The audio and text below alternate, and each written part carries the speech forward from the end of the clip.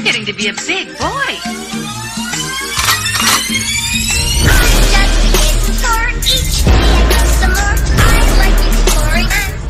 Hey, what is up YouTube? So today I'm going to show you guys how to find favorited items on Roblox. So to do this, you just gotta go to your home screen, as you guys can see here.